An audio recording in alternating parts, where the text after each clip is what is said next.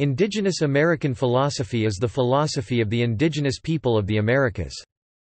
An indigenous philosopher is an indigenous person or associate who practices philosophy and has a vast knowledge of various indigenous history, culture, language, and traditions. There are very few contemporary indigenous philosophers alive today.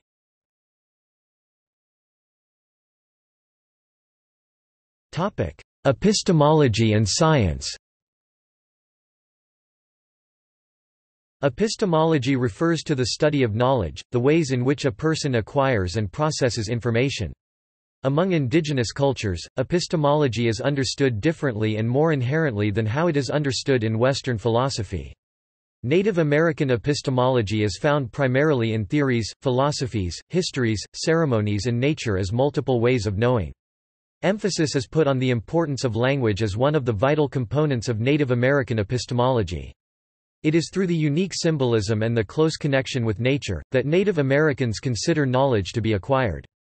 In relation to consciousness, rationality and other heavily studied psychological states, the inherent structure of the complex Native American language is necessary to understand in the obtainment of indigenous knowledge. There is also a strong link between nature and the interpretation of knowledge within Native American culture. It is believed that the mind interacts with the environment in a very active, conscious way.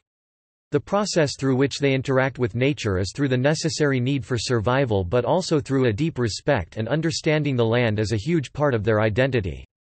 It is vital to understand how to gather medicine, predict weather conditions so as to effectively produce food, and how to navigate through the land in order to grow and thrive as part of an ecological dependent community.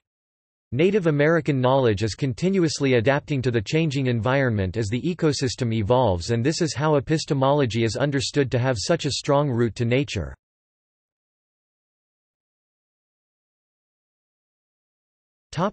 Phenomenology Native American science and understanding is said to have a basis in perceptual phenomenology, meaning the philosophical study of phenomena. In this context, phenomenology refers to the examination of one's experiences to come to a personal worldview. Something is believed to be true when it has been verified by experiences and provides explanations which assist in completing tasks. This worldview is dynamic as new experiences alter this worldview and add to it. There is no belief in a universal worldview which could explain all aspects of reality for a permanent set of time. The world is viewed as infinitely complex and so it is impossible to come to a universal understanding of it. Therefore, Native Americans believe that useful knowledge can only be acquired through individual experience which, whilst subjective, is valid to that space and time. The method of interacting with the environment is never made fixed and instead, is carried through generations who continuously revise it and add to it. This creates a web of knowledge shaped by the individual experiences of a community. The subjectivity of experience and circumstance means that each indigenous community's beliefs will be distinct. Indigenous people believe that experience can always present a better way of interacting with the environment. As a result of this understanding, no belief is viewed as being supremely valid when compared to another belief.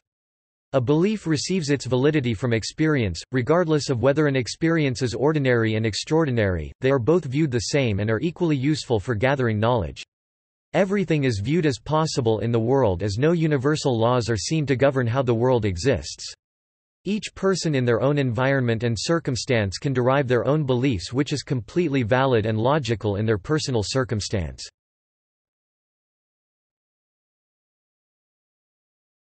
The principle of relatedness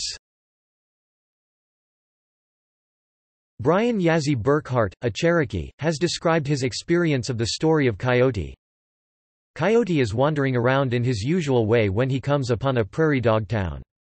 The prairie dogs laugh and curse at him. Coyote gets angry and wants revenge. The sun is high in the sky. Coyote decides that he wants clouds to come. He is starting to hate the prairie dogs and so thinks about rain. Just then a cloud appears. Coyote says, I wish it would rain on me. And that is what happened.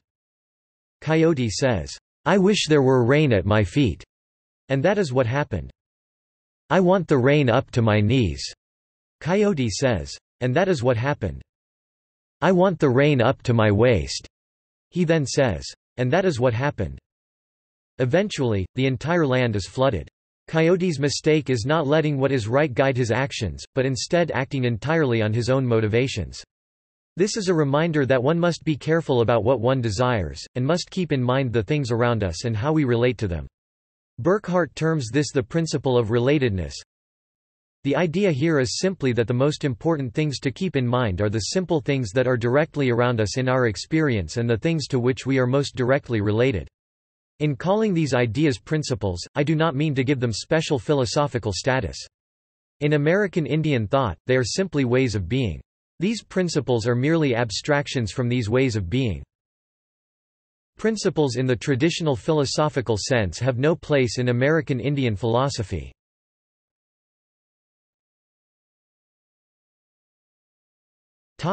Metaphysics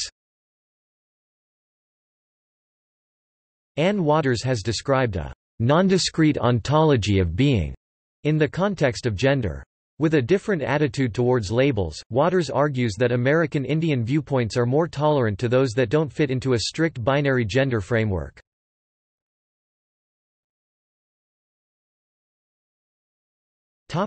Differences to other philosophical traditions